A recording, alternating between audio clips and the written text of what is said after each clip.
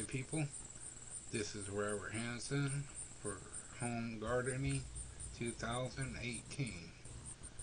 The thing we'll be talking about and and is carrots right here. Mm-hmm. And okay, and well, we took carrots and we planted them in a nice container you see in the video here, okay? And we're going to see what kind, how it, pro, how it progresses here, okay? These are big carrots, alright? Be the first time we ever seen anything quite like it. They're, okay? And other people have have had growing them, let us know about them, how they progressed for them. Alright.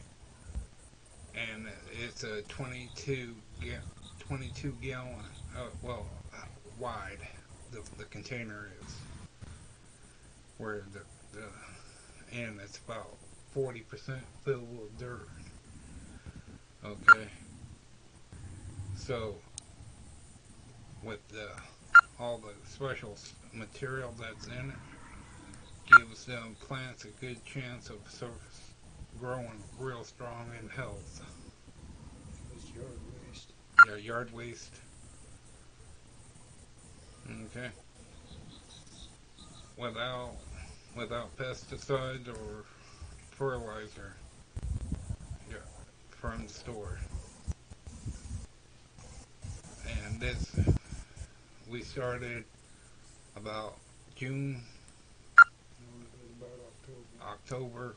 Planting them, and and within the same container for a period of time.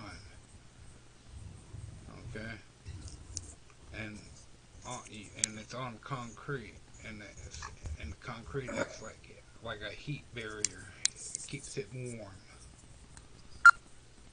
Okay, on a cold winter's night. Not not too cold, but cold enough. And you see, we put them, uh, use them pops as well. Cherry trees. Cherry trees are inside of them. Cherry seeds. Cherry cherry seeds And them. Okay. Thank you. That's the end of the video. Say thank you for watching. Thank you for watching.